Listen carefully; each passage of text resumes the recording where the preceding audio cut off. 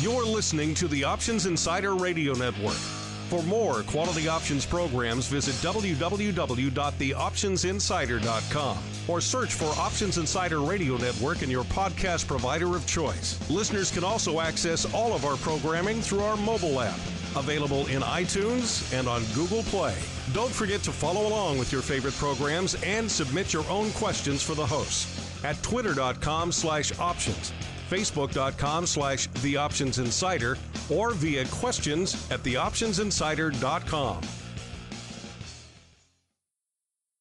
And now, it's time for the show that breaks down the options market from unusual activity alerts to market analysis, strategy overviews, listener questions, and much more. If it involves puts and calls, then our all star panel will break it down. It's time to hit the option block with your host, Mark Longo from the Options Insider Media Group and co-hosts Uncle Mike Tosaw from RCM Asset Management, Andrew the Rock Lobster Giovinazzi from OptionPit.com, and Mark the Greasy Meatball Sebastian from OptionPit.com.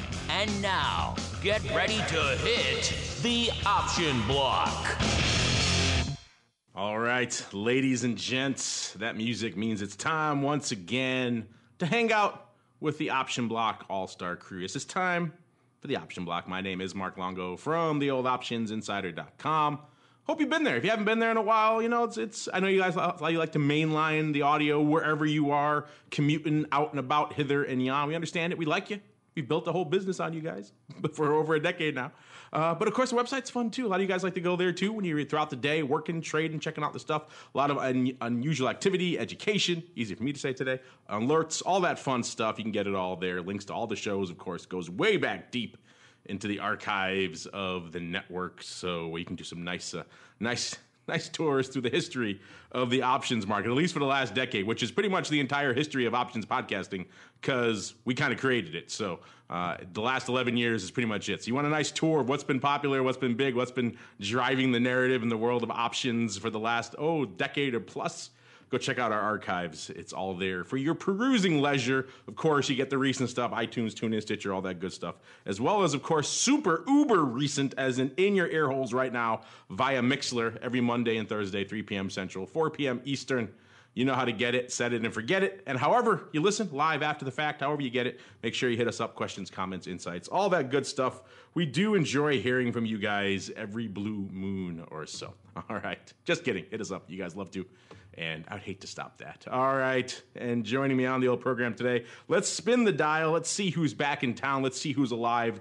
Let's see who's not dead at a Costco near you. Let's start off first in the uh, in the scenic environs outside of Chicago, where I think today the weather shield may have broken down. Getting more snow in April in Chicago than we got in like December, January, February combined. I don't know what the heck's going on. It's kind of weird. We had a pretty mild winter until April. Who knew April was the was the craziest of winter months? But c'est la vie.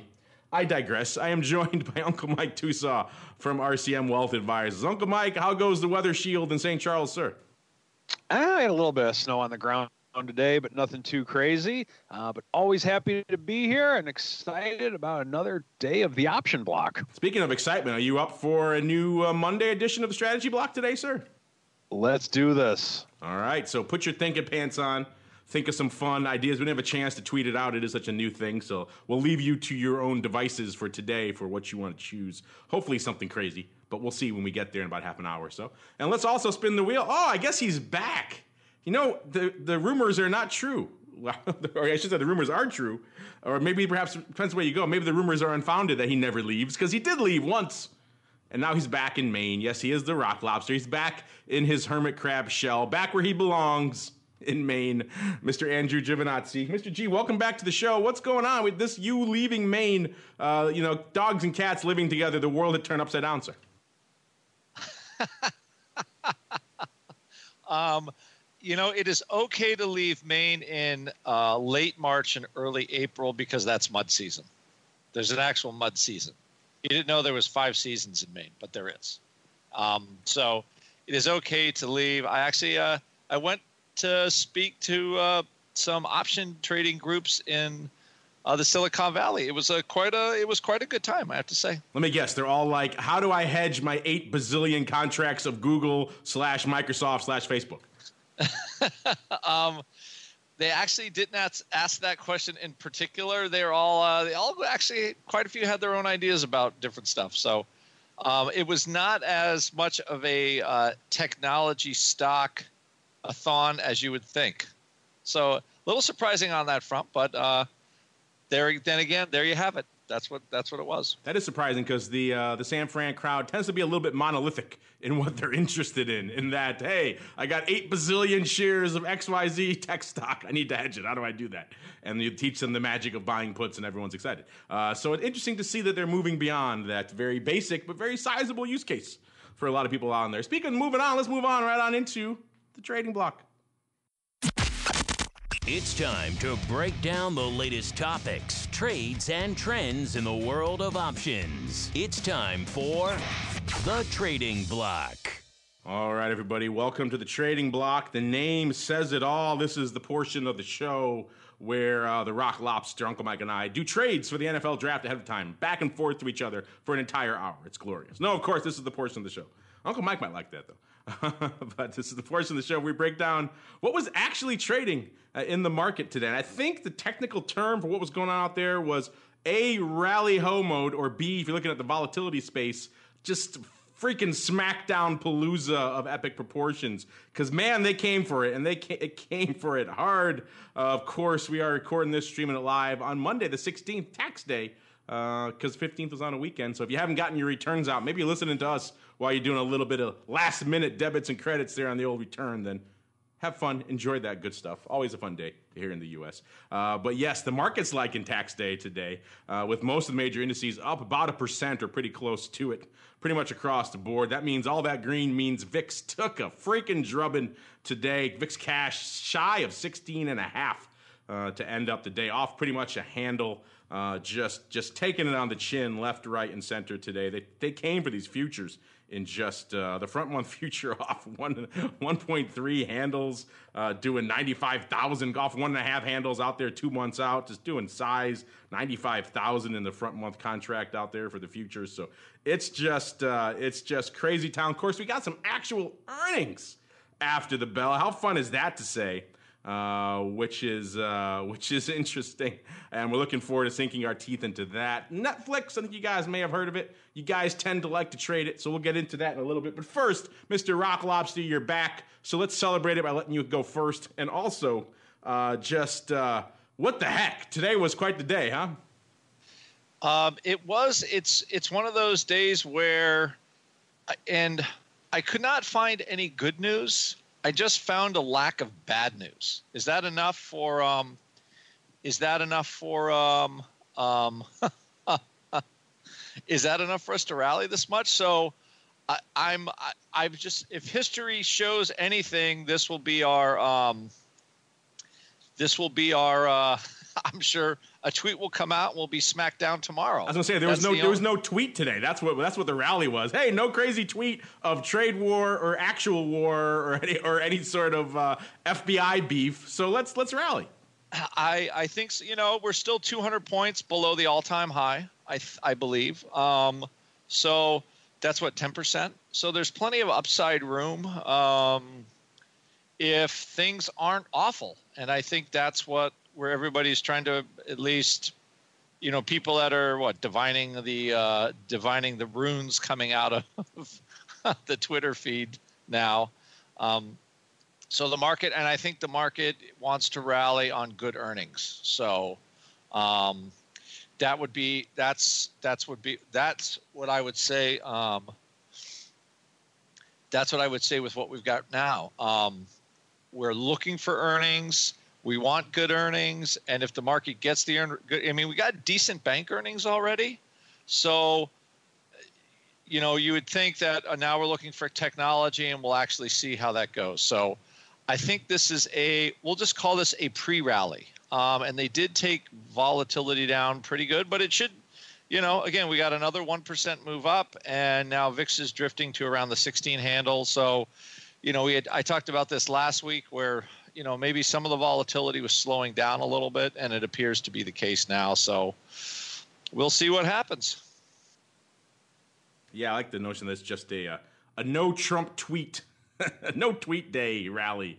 Because uh, hey, no one's talking war, war, or trade war, or anything along those lines. So let's let's just rally. It's it's everyone's in a good mood. Everyone's excited. People are posting uh, articles out there. I think Bloomberg had a big write up about how hey, everyone's excited to get some vol back off the boards again because uh, we talked about it before when we had the ORATS guys on talking about some of their earnings data that just in general, uh, you know, earnings season tends to squeeze vol a little bit.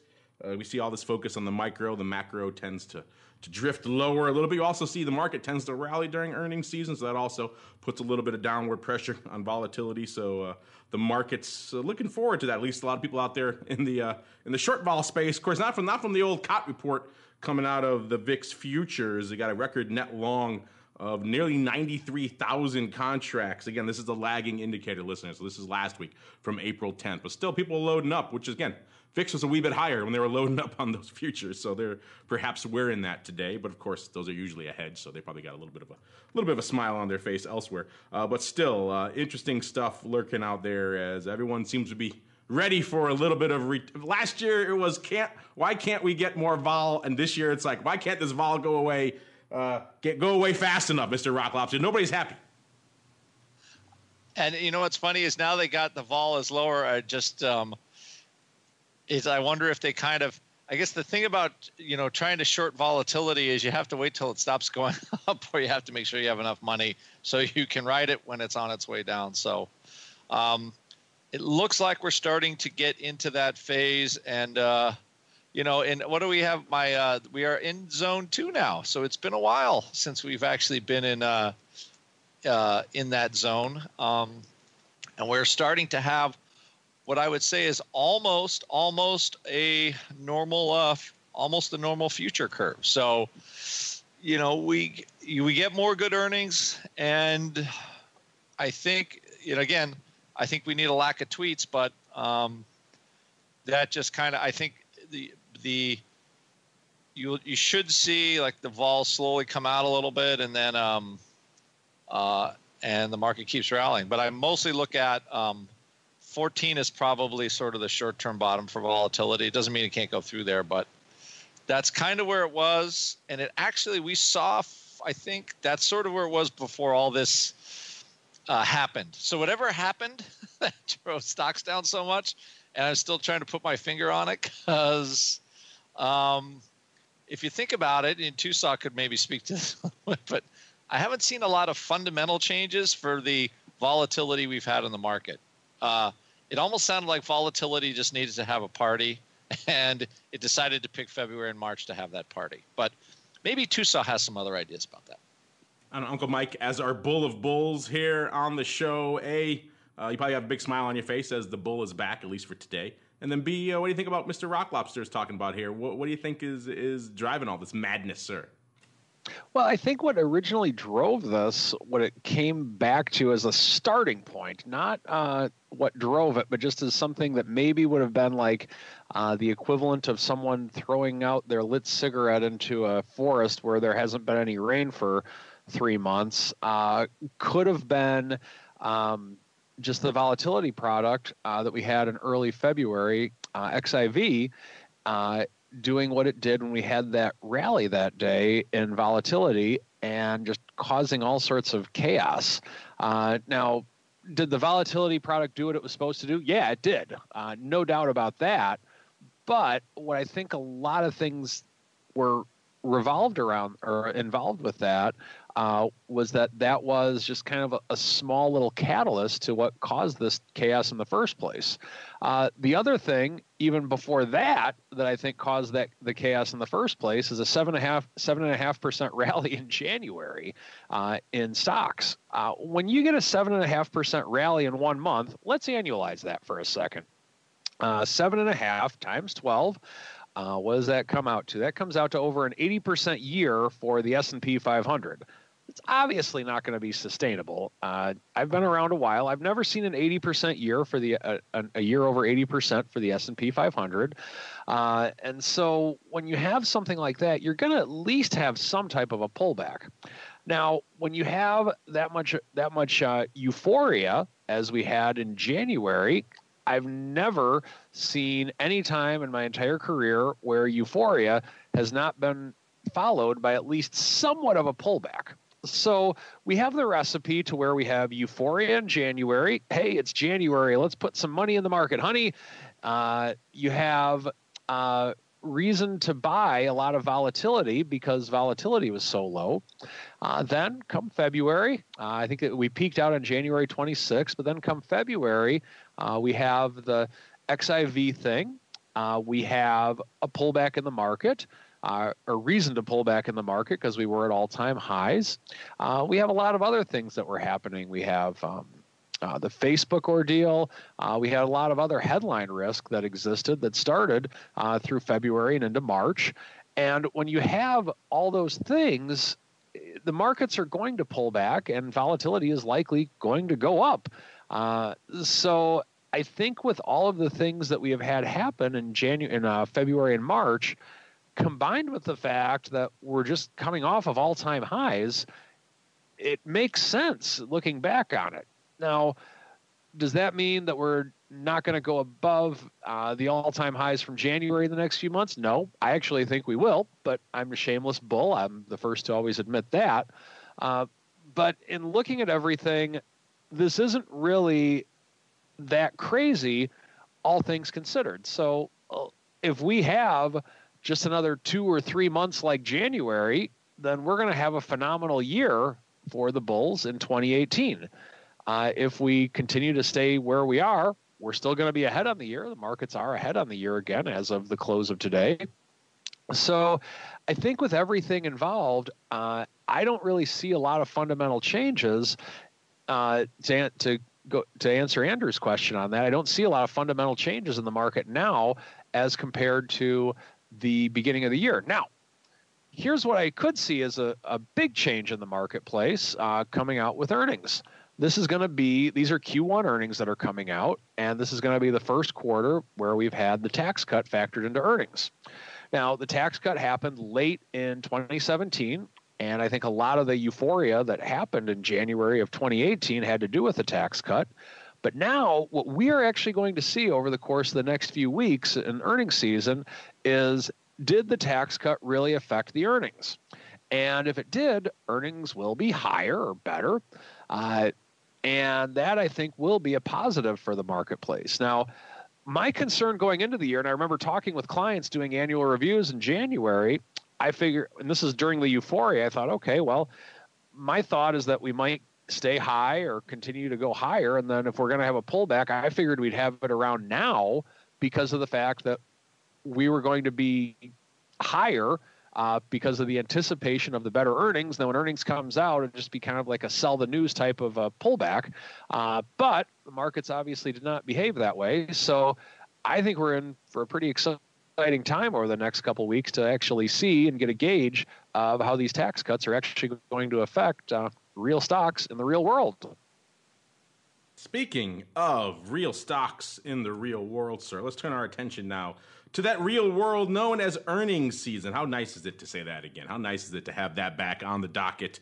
You know, macro has its place, has its purpose. the old viceroy used to love to talk some macro, uh, but you know, it's been so much macro of late, and a lot of it conflicting and conflating. Uh, that it's nice to just sink our teeth into some relatively discrete micro events known as earnings and kicking things off with a bang this season. Good old Netflix, aka the Widowmaker Ticker symbol, you guys know it, NFLX, uh, closing out the day right around, right close to 308, 307, 78. A little bit rally home mode. It was shy of 307 going into the close and ended up about a point higher there. So a little bit of love, even though it was off net on the day, nearly four handles are a little over 1%. And those doing some pretty decent paper today, as you might imagine, going into earnings. This is a name that does decent paper on a given day, about 175,000 contracts. Today, doing about 261,000, pretty even calls to puts, about 1.2 to 1 uh, calls over puts, which is kind of interesting. Usually, you see maybe a little bit more bias than that going into an earnings number like this, but today, uh, not so much in terms of what the market was looking for out here. They were pricing in.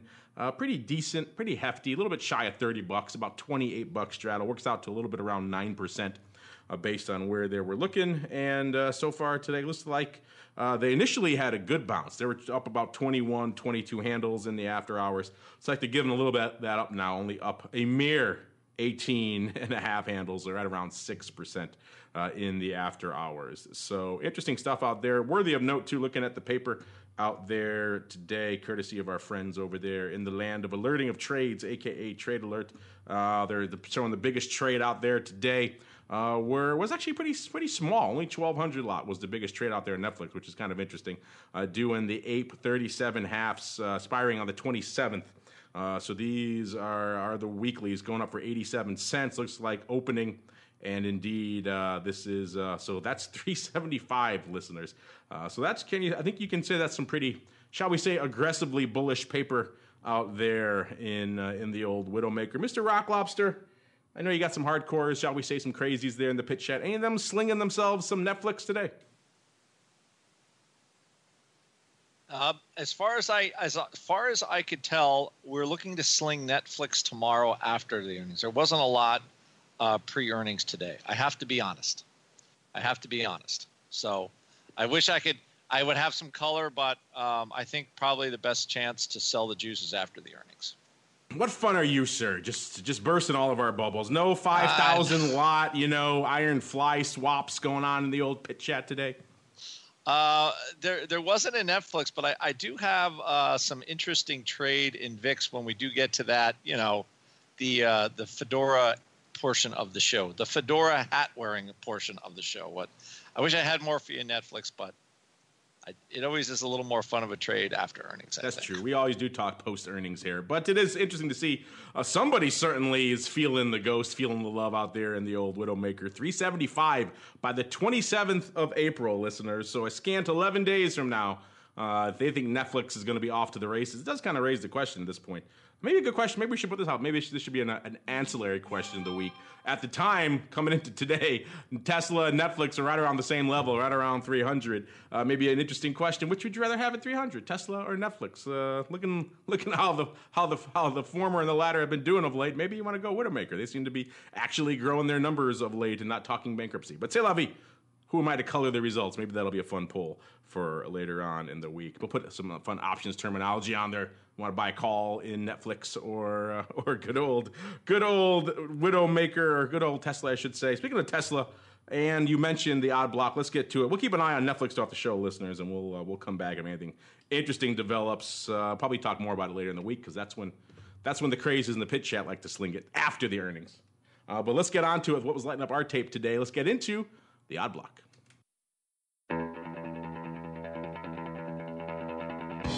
It's time to break down the most interesting, unusual, and downright questionable options activity that's been identified by theoptionsinsider.com. It's time for the Odd Block.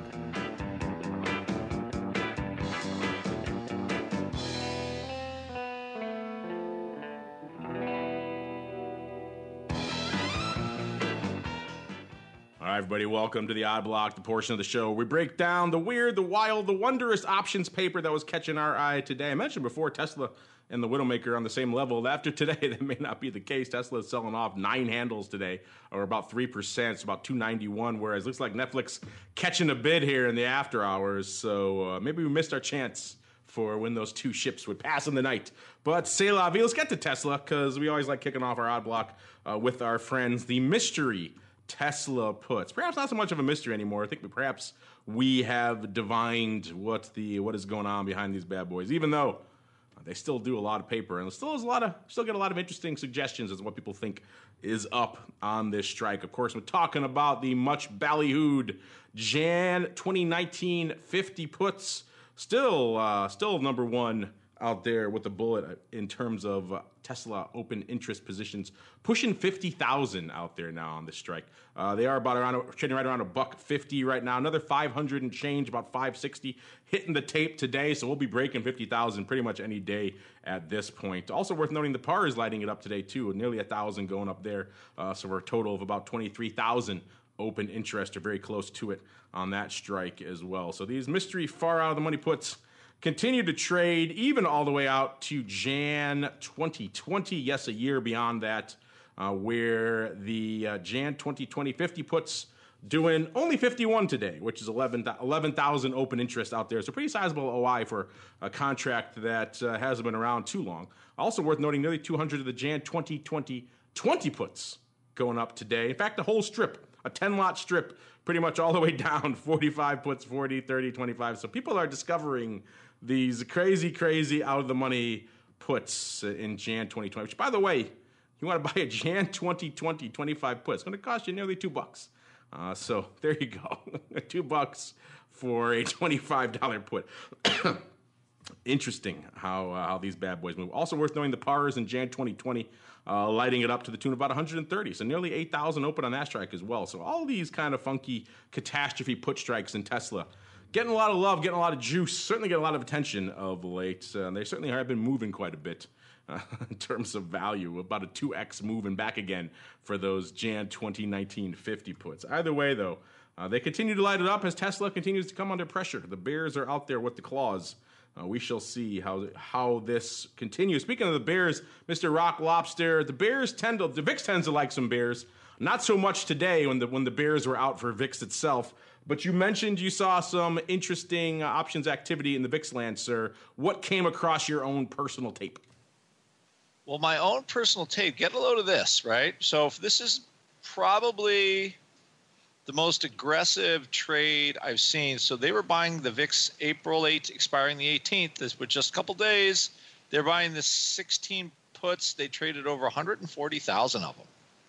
That's quite a, and they also traded over 150,000 of the April 17 calls. So um, somebody is looking for it, it's either a closing strangle action, but it's still it looks like we had we had more uh, volume on the puts, and it's just a ton of volume on the calls. So, so I think it's definitely somebody you think, you think it's a strangle, closing, not a risk reversal. It's definitely a strangle.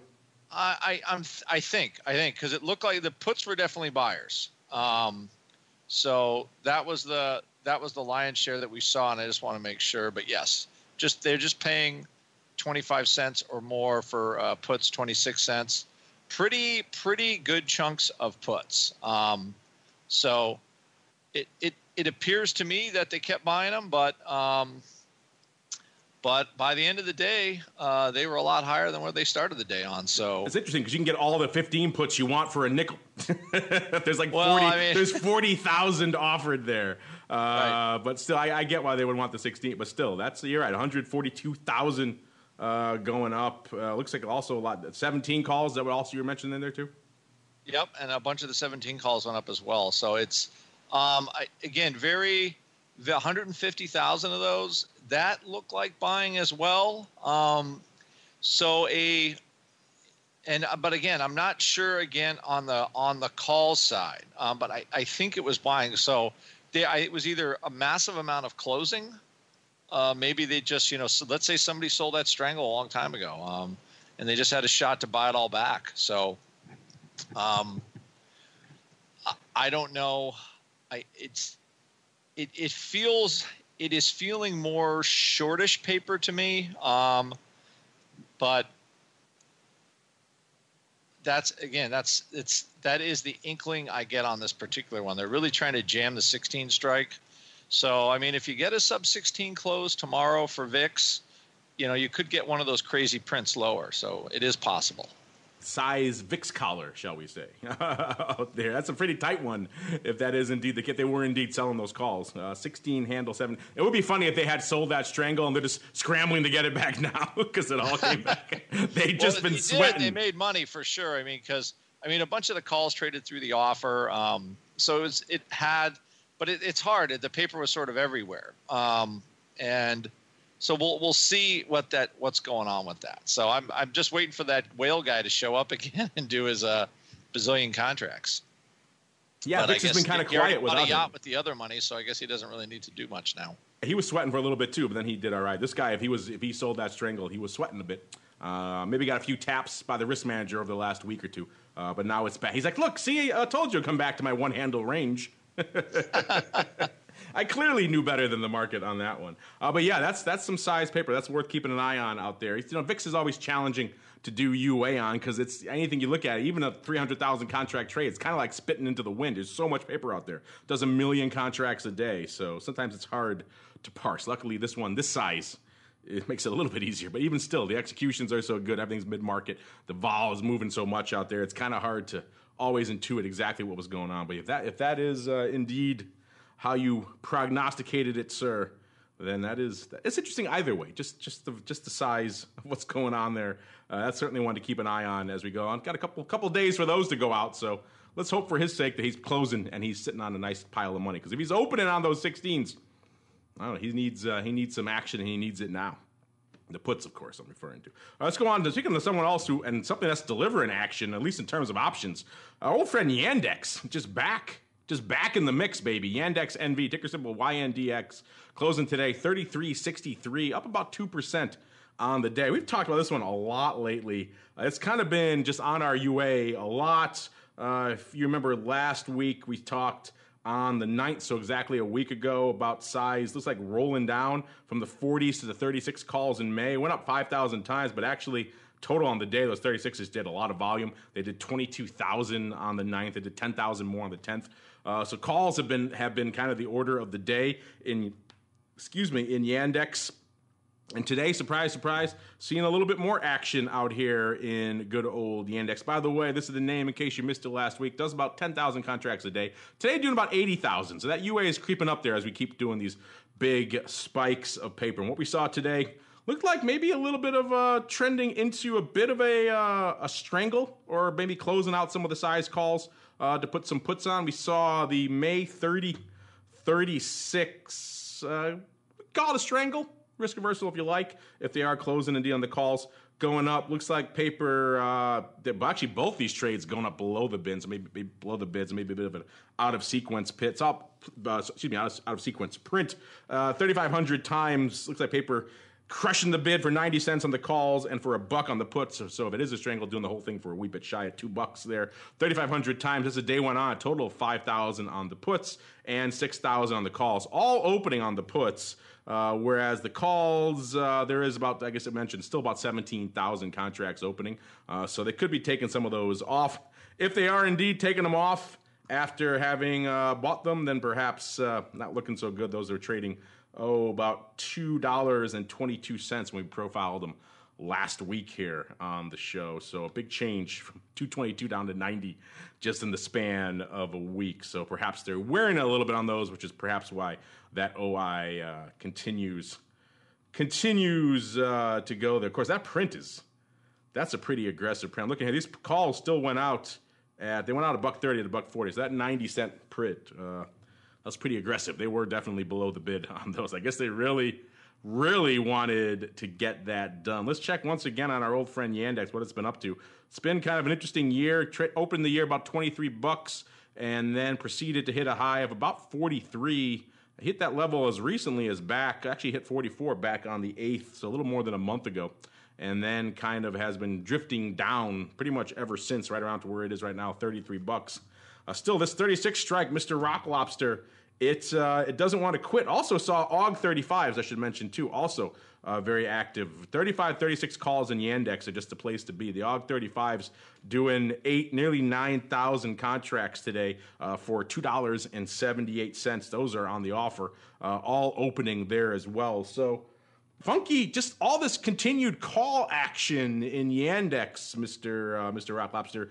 Uh, what what what is your spidey sense telling you about this continued call action? Well, I look at this and I'm the May, a lot of the May options today. It looks like they kind of sold them through the bid. Does that make sense? Yeah, um, they went up way through the bid. yeah, so uh, you're, I mean, that's. It feels like a pretty aggressive vol sale into earnings. I, it, I think they have a late April earnings, so I find it. I find that one an interesting one. Um, also a lot of action in August, um, and I it might those might be spreads. So I I'm not quite sure if the uh, the way I'm looking at it, are they using this? Are, is someone using the strangle to pay for their August 35 calls? I think that's possible. Um, um, I, I, because there's there's two different trades. You got 3,500 contracts there. You got around 5,000 of the August. I mean, it's possible they're using that as a as those that. It's possible they're using those um, options as a hedge because they all traded on one exchange. So the um, the August traded uh, prior to the May, so it has that feeling of that. So I I think another thing with this is you know the Yandex is suffering because the ruble's suffering, um, and somebody might be looking for a bounce. It's like okay, there's you know there's all that sort of negative Russian stuff coming out, and then all of a sudden you know there's a couple tweets later, and maybe it's all not so bad in the in the ruble rally. So I, I feel like somebody is positioning for that, but in the short term. They're not looking for a lot out of it, but potentially down the road, kind of a little bit of a, a little bit of a kick. Yeah, I like the financing angle because then they're taking off nearly two bucks of the uh, about two seventy five they paid for those odd calls. Of course, again, that's a that strangle has its own risks to it, but still, maybe and they they sold that for. Man, they really crushed that bid to get that off, and they probably could have got a better price, at least on the calls. Uh, but still, uh, interesting to see. And yeah, that could be an interesting finance angle. Either way, I think this is not the last time we're going to be talking about Yandex anytime soon. It comes up on all of our scans just about every day these days. So uh, it's it's certainly not the last time. We'll keep an eye on those bad boys as well as we continue to see what the what the heck is going on out there in good old Yandex calls. Let's let's move on to a little bit more of a straightforward one. Little bit easier to sink our teeth into a bit of a palate cleanser after the continued madness that is Yandex, Mr. Rock Lobster. Let's move on to Devon Energy Corp, ticker symbol DVN, closing today, 3362, pretty much unched on the day. It's a name that does about 10,000 contracts a day. Today doing nearly 2x that, about 18,000. Eight and a half to one calls over puts. So that is where our eye of Sauron was drawn today, and it was to the May 37th uh, doing a big block of nearly 8,000 earlier this morning for about 52 cents, right on the offer there, just gobbling those bad boys up. A total of nearly 11,000 hitting the tape on the day. That's about 10x the OI on that strike. So clearly opening. Uh, they went out 53 at 55, so they actually got a good price on that early uh, early block. They bid that strike up a wee bit, shall we say? Not surprising, uh, given the fact that they're pretty much most of the paper of the day. Uh, so interesting stuff out there. Worth noting. Uh, the earnings are the first, so this could be a straight up earnings play on here because uh, obviously the May contract going to have some earnings juice going on. And let's look back at the year that's been. It's kind of been a topsy turvy roller coaster year. It's like a bit of a roller coaster path here. Starts off the year right around 41 bucks, gets down to, oh, looks like about 28 and change back in July last year, kind of bounces around there for a while, then kind of shoots back up and bounces around, gets all the way back up to 45 uh, by the end of January. Then we all know what happened in February. Everything got crushed, including uh, including DVN, and they sold back off to pretty much where they are now in the low 30s again. So, Mr. Rock Lobster sounds like, at least on the surface, someone's coming out and saying, you know what, I like myself some upside. I like myself Devon's chance here to uh, to do some rally home going through earnings and blow back up to those earlier levels. What say you, sir, about some straight up upside call love in DVN? Uh, I like this. This is my closet pick for uh, 2018. All the oil, oil services, oil producers, all that stuff, um, kind of digging themselves out of the uh, morass that was what 2014, I think, for the oil stocks or 2015. So I'm, I have to say, uh, you look at that, and that that is a, I would call even for me that I think that's a little. Let's see here. Is that how aggressive is that for Devon? I'm just taking a look here at the vol. Um, you know, I it looks like purchase. Um, that's that would be a little aggressive for me. Buying out of the money calls is not my yeah, favorite. It's got to rally ten percent through earnings, pretty much. I mean, I'm I do own some out of the money calls, but they didn't start as out of the money calls in some of the oil producers. So, um, I, I understand what they're doing, but that to me, but the time frame is much longer. This is a pretty I would say this is an aggressive time frame, but you know, I think they're looking at those year highs and they and uh, for the stock and they think, okay, maybe uh, maybe it's we're we're coming back to that. So I don't know how much Devon uh, produces natural gas too, because natural gas is still on the floor. So, um, but either way, that that would be aggressive for me in this stock. Uh, I, that's that would be too aggressive for me at this point. I have to say, even though uh, I like the group as a whole to start kind of, uh, I think you know very much possible outperforming from here on out for the year, but um, that that's a little aggressive. So if I'm reading between the lines here correctly, you're saying that that 10,000 block was you. That's what you're saying. you know what? If I uh, if I just if I had a couple of extra bucks, I, I would think about, but not the 37s. That, that's I don't the, know if I could I could buy. that's a bridge too far. 33, you, are thinking, but 37, you know, that's the new mo of Carmen line, slinging all that upside in uh, in oil producers and refiners. There we go. Volatility and energy fund. All right, let's move on to our final name. Everyone's favorites, uh, Pags Seguro Digital Limited, ticker symbol PAGS. PAGS closing today 34 and a half. I do believe they're making their odd block debut. Given their volume, it probably would make sense. They do about 98 contracts a day. Today doing 56, almost 5700, about 21 to 1 puts over calls. You pull up an options chart, an options chain of these guys, listeners, you'll see what I'm talking about right away. They don't do any paper except for today when they did 5401 of the May 30 puts. Someone drawn looks like a pretty sizable line in the sand uh, to the tune of about 5400 i said all these going up for 20 cents which was pretty much right around uh, well the market was ridiculous. It was it was a dime at buck 55 so i think you can call it bid side on that one. Looks like someone i said blasting out quite a few of uh, of these for 20 cents uh, perhaps drawing shall we say an aggressive line in the sand. The stock is right around 34 and a half. And let's look back at a chart here because again this is our, their first time on the show and they had they don't even have that much of a history here. They're only going back uh, they're only going back to January of this year. So this is a uh, new entry in many in many senses of the word. Uh, let's see, going back to January, beginning of the year here, where they were trading right around 28 and change, actually about 28. That's where they kicked off the year, and they rallied as high as about 40, pretty close to it, 39 and change and then kind of drifting back down to the middle of the upper middle of that range again, right around 35, 34 and a half, where they closed today. Mr. Rock Lobster, what do you think is up with these puts? Because this, you know, these markets are funky. They're like a buck wide because nobody trades this thing. Uh, they put up 20 cents. I'm, I'm, I'm not thinking this guy bought these puts for 20 cents. That'd be pretty impressive if he did indeed do that. Looks like someone sold them, which case someone drawing a pretty interesting line in the sand here. Are you on board with that here for everyone's favorite PagSeguro Digital Limited? I, I like don't I, I'm not going to even say it's bold. I think it's very bold. That's I don't even know what this company does. Um, but I, I have to say that's a bit of a stroke of boldness. Somebody's just jumping in. They're jumping in and saying, uh, 30 is it. 30 is my line, and nothing's gonna nothing's gonna change that. So, I uh, the only thing I could say is, oh my, uh, oh my. Um, so that is the line in the sand. We'll see. Uh, I now I have to go see what this stock does because but the options are untradeable. But at least uh, yes, they're a unless you want wide. to sell. You know what?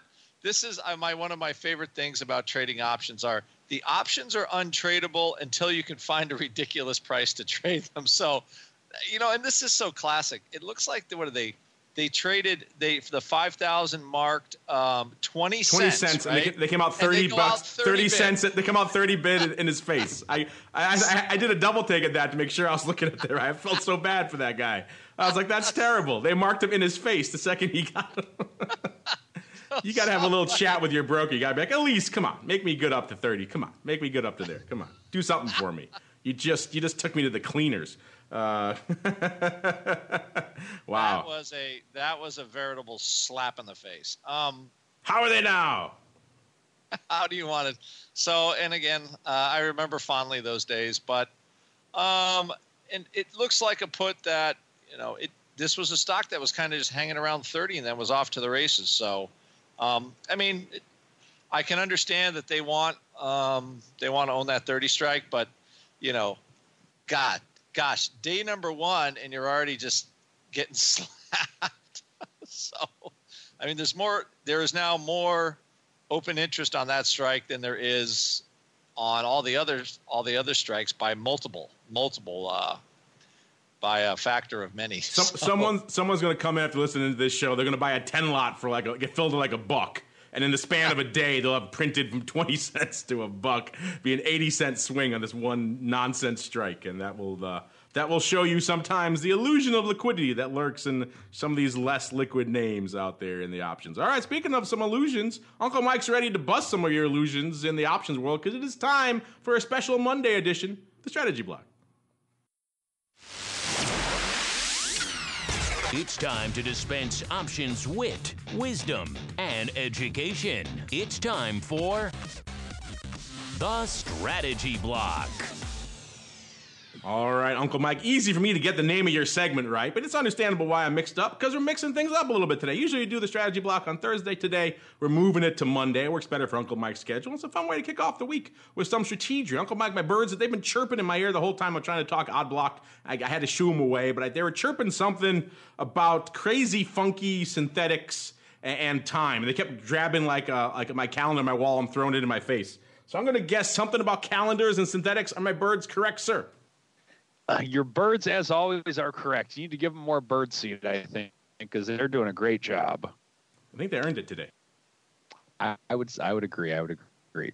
So today, I want to go through uh, synthetics just, uh, just briefly. I know we have uh, don't have a ton of time left before we get into the mail block uh, before the end of the show today, uh, but I, I want to go through through it, what it means, and how it can be affected and synthetic than a lot of people think may exist.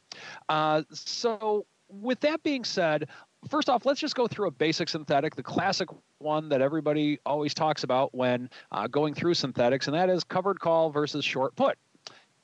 Now, let's say that there's no dividend on the stock. And if there's no dividend on the stock, and you sell an at the money covered call, meaning you buy the stock for 20 bucks, you sell the 20 call for, oh, let's say 50 cents.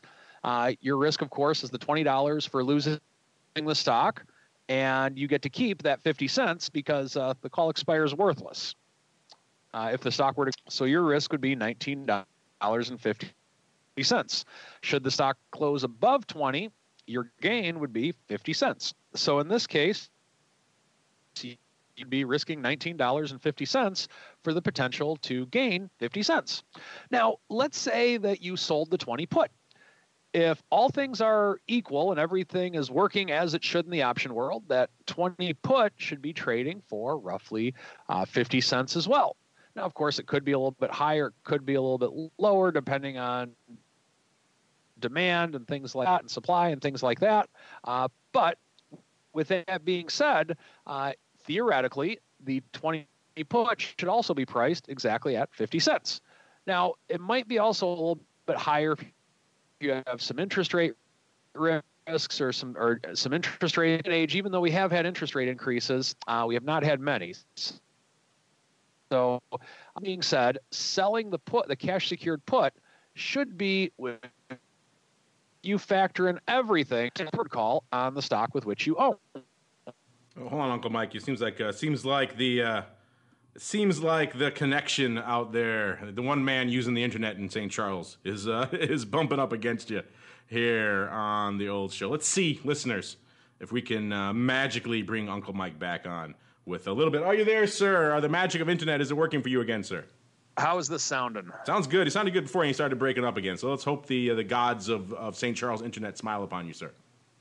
Okay, got it, got it, got it. So let's say that uh, you, you you would get a 50 cent gain because you get to keep the premium on the short put, and you'd also have a $19.50 loss uh, if the stock were to go to zero because that 50 cents is yours to keep no matter what. However, you're obligated to buy the stock at 20 even if the stock is at zero. And if the stock closes above 20 and the put expires worthless, you have that 50 cents with no further obligations. Now, that's a very simple synthetic. Uh, and synthetic just means that it's a, a synthetic strategy, it's the same thing. What I want to talk about today is another synthetic that not a lot of people look at. And I think in markets, if you trade these strategies, it's something with which to consider when you're doing it. And that is a calendar spread. So, a calendar spread is when you buy an option, let's say maybe three or four months out, and then you sell an option at the same strike price at a more near term expiration.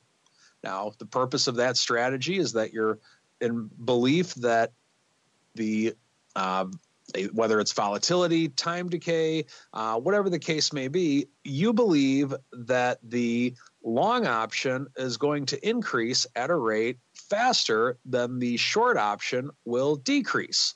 Whether it's through implied volatility chain skews, whether it's through uh, time decay being linear, whether you think, well, the stock won't quite get to this price, and let's say you're doing it above where the uh, current stock prices, you think, well, the stock won't get to this price by expiration. That near term will expire, and then I'll have the long term free and clear. Uh, it can be for a variety of reasons as to why you want to do it. Uh, but what I would recommend taking a look at is how calendar spreads can be synthetic. Let's say, for example, that XYZ stock is trading at 20 again, and you're really bullish on XYZ stock.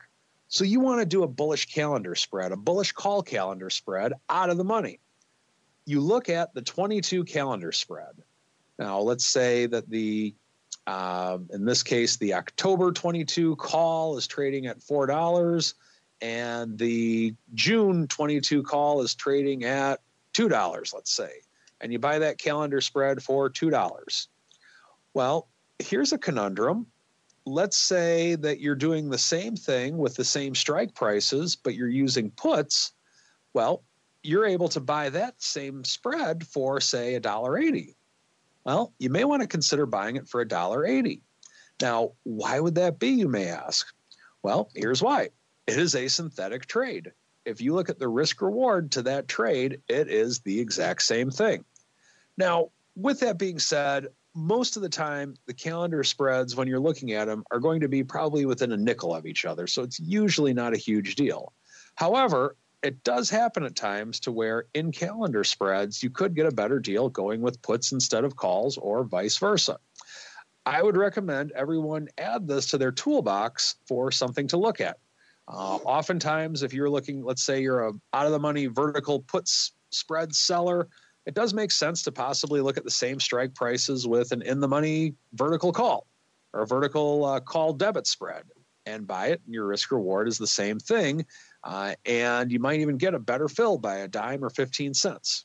Whatever the case may be, have an awareness and an understanding as to how the spread works, what you're looking to do, and when it might make sense to do something with, within a synthetic. And that is the strategy block for today on a Monday, Tax Day 2018. There you go. Well done, Uncle Mike. Glad to see the uh, Skype gods are smiling upon you once again as we roll on into our final segment. It is time for Around the Block. It's time to tell you what we'll be watching on our trading screens until the next episode. It's time for Around the Block. All right, let's check back in first off on our old friend, the Widow Maker. Not making too many widows today, making a lot of uh, happy, happy ladies and everybody else out there uh, today. Uh, up about 20 handles right now in the after hours, a little over 6%. Uh, they're pricing in a bit more than that. They were pricing in right around 9%, so a little bit shy of what the straddle was pricing but still, uh, overall, uh, looks like the market still liking what Netflix is uh, selling out there. Speaking of uh, earnings, there's a whole bunch coming, including this week. You got old school tech, good old Beamer popping off uh, before the bell, actually after the bell uh, tomorrow. Goldman before the open uh, tomorrow. Then we've got just a bunch of other names. Amex, uh, good old Pier 1 popping off on Wednesday. Morgan Stanley before the bell on Wednesday as well. Uh, E Trade after the bell on Thursday. We got uh, P, a bunch of names out there. Uh, Nucor, Blackstone on Thursday as uh, as well. And Friday looks like a few other names out there: Honeywell, P and G, and others. GE so a lot of big names start sinking your teeth into. Of course, a couple of weeks after that, we start getting all the names. We got Netflix this week. We get some more big consumer tech names you guys like to sling. And it'll be off to the races, which will be quite fun. That said, Mr. Rock Lobster, we'll start with you. In addition to the slew of earnings out there, what, what are you watching this week, sir? Um, mostly I'm watching, let's see if we could see new lows in vol. Um, and, and I'm watching oil, the oil stocks, and the Russian thing, just because it's one of those stories that has kind of bouncy capability. So um, those are kind of the big things I'm looking at, um, at, just for things that can move, and you know, that's that's basically what I'm looking for. So my eye is still on that stuff. uh, and I think just tech earnings will should push vol lower if they're good. Um, that's the only thing I can think of at this point. Yeah, that would be nice to squeeze a little bit of vol south again, Mister Uncle Mike. If you've saved your breath up from all that uh, calendar spread synthetics, sir, what you what you watching the rest of the week? Well, I think Syria is what the other thing with which we need to watch. Uh, we did launch some missile, missiles at Syria, and uh, wanting to see where that actually goes. Uh, also, looking to see uh, where we can go if we can stay out of the range with which we just broke out of today on the S&P 500 in addition to everything that Andrew had mentioned and uh, of course earnings Of course, indeed. Syria, why, why would a war war move the market, sir? It's madness, things you speak. All right, that music means we've come to the end of another epic journey through the world of options, kicking things off, talking a little bit of earnings, talking a little Netflix, talking about a VIX Destructo Palooza. VIX is dead. Long live the VIX. All that, uh, all that fun stuff. Tesla puts, funky Yandex call action still going on out there. A lot of earnings for the rest of the week, so a lot for you guys to sink your teeth into uh, there, as well as Uncle Mike and his ongoing love affair with calendar synthetics and all the other good stuff going on out there. And wrapping it up with a little bit more looking ahead, so as we like to do. On Thursday, if you can't tell, we're mixing up the schedule a little bit gonna start doing some strategy blocks on Monday. I think that works better for Uncle Mike, probably better for you guys too. Thursday we'll get all your questions in on the old mail block. So look forward to that. Keep those questions coming. We love to hear from you. Before we go, let's hear from our own cohorts one last time. See what they have cooking. Start with you, Mr. Uncle Mike. What is cooking in the land of Mr. Tosaw? Well, we just had our uh, March, I'm sorry, our April meetup the other night for the St. Charles Investing Club. We'll be announcing the one for May shortly. And with that, if there is anybody that's looking to work with a financial advisor who is not afraid of the word call spread, feel free to give me a call 312 212 3531 or shoot me an email at mtosaw at rcmfs.com. And you know, Uncle Mike, I forgot to mention this to you. Uh, I was out in the suburbs this weekend, and I did drive past the Skippies. Apparently, they are a little bit closer Ooh. than Aurora's. There's actually one in Naperville, apparently. Who knew? It's big time. So uh, I, I was already past it when I saw it. Otherwise, I would have just done a Yui right there off the highway and just gone. Got myself some tasty, delicious gyros and lemonade. I'll have to wait till next time, unfortunately. And I don't know they don't have such things as ethnic food in Maine, Mr. Rock Lobster, but perhaps they have uh, some cool stuff coming from the land of the pit. What are you guys working on? Uh, well, you know, of course, we have VXX Made Easy will be coming out uh, soon as a class, so maybe people might be interested. Also, explain what happened on our big vol blow up. Uh, my vol newsletter is doing well, and I'm happy. Uh, the, subscri- the subscriber base is growing every week, so I'm thrilled. Um, another thing I would say is what Tosaw was saying, go try to find your local options club. I spoke to a couple options clubs in the Silicon Valley, SVOG and TOPS. You can Google both of those, Silicon Valley Option Group or TOPS, T-O-P-S.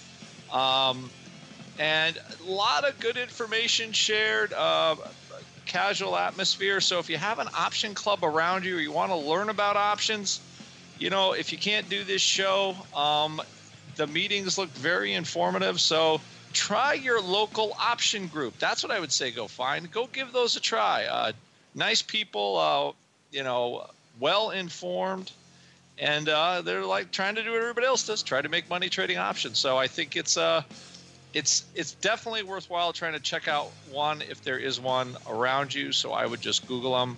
Just went to the two in uh, the Silicon Valley, and uh, and I like both of them. So anyway, that's what I say. Go check them out. Check them out there you go. Check out your local, seek out a little bit of uh, local options fun. Now, I like to think of this show as kind of everyone's collective national and international options group. If you like a little bit of in person time, and God forbid you're not in St. Charles, I mean, who isn't in St. Charles, then you find your own uh, options club. There are quite a few. Talking to Russell over there at CBOE, he goes hither and yon, does all this some in Honolulu. There's out in the forests and hinterlands of Kamloops in British Columbia. You can find them anywhere. So chances are, if you live where people are, chances are there's an options club near you. Search it out and let us know. If you find a good one, let us know. Maybe we'll look into it and talk about it on the show. Be a fun one. All right, and on behalf of the Rock Lobster and Uncle Mike and indeed myself, I want to thank all of you out there in the listening audience, downloading, streaming, subscribing, all the good stuff that you do. And we'll see you next time for more for the Option Block.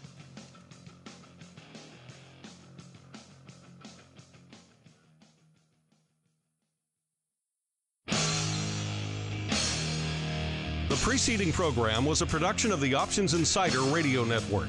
For more quality options programs, visit www.theoptionsinsider.com or search for Options Insider Radio Network in your podcast provider of choice. Listeners can also access all of our programming through our mobile app, available in iTunes and on Google Play.